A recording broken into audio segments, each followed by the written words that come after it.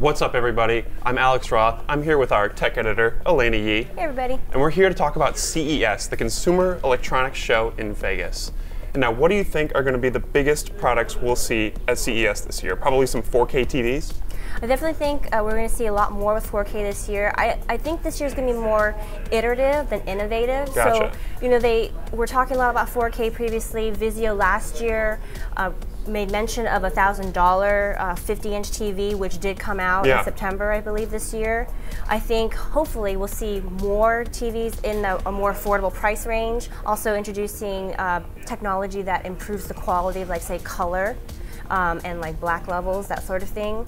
OLED technology is still too expensive, so I think companies like LG is, are pursuing things like quantum dot technology in order to get like that really nice color that everyone's been hoping for. Gotcha. Maybe we'll even see some distribution companies like Netflix coming out and discussing plans to get content, more yeah. 4K video onto 4K screens. Or 4K, or 4K Blu-rays, that sort Yeah. of thing. Yeah. And what about VR, virtual reality?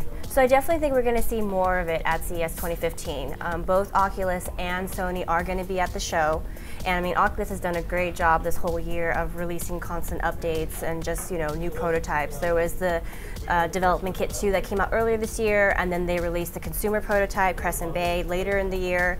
So I'm definitely thinking there's going to be some kind of announcement or showing of something new at the show. Uh, Sony has Project Morpheus, Yes. obviously. Um, so hopefully we'll see something of that as well during their Don't know press for sure. Don't know for sure. Don't know for sure. And there's of course going to be other companies as well who are trying to cash in on the whole virtual reality like tide. What about the Internet of Things? So yeah, I think that's another trend we're going to see a lot of this year, where you have like the whole connected home thing, where it's Yeah. like, hey, um, your refrigerator can tell you that you're out of eggs, or like you can start your toaster from I guess your bed, like use an app to turn it on. Aren't there enough things on the internet already? Yeah, and if, if that's not your thing, I think another thing that's going to be a big theme this year is wearables. Like I think Yeah. everybody's talking about wearables, and not just for like your wrist. Um, I've, I've been hearing things about like stuff in your clothes, like integrated into your clothing, like heart rate monitors.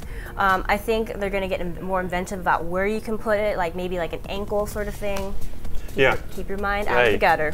Yeah, now that nobody hears that nobody hears about Google Glass anymore. I mean, maybe we'll hear maybe we'll see a Google Google Glass competitor or something like You know, that come Sony out. did release a press uh, has a, had a press release this Yeah. week where they were talking about a clip-on pair of smart glasses. So we'll probably hear more about that as Cool. well. Maybe hopefully get some hands-on time with it when we're on the floor. And I think this is something that a lot of people haven't been talking about much, but I think we're going to see a lot more with.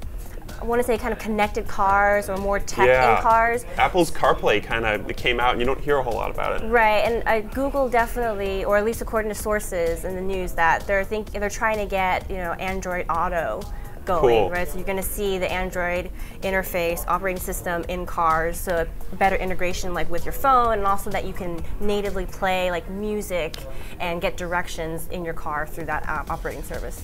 Awesome. CES starts on January 5th. We'll be there bringing you all the latest news, hands-ons, and press conferences. So keep it locked here on IGN.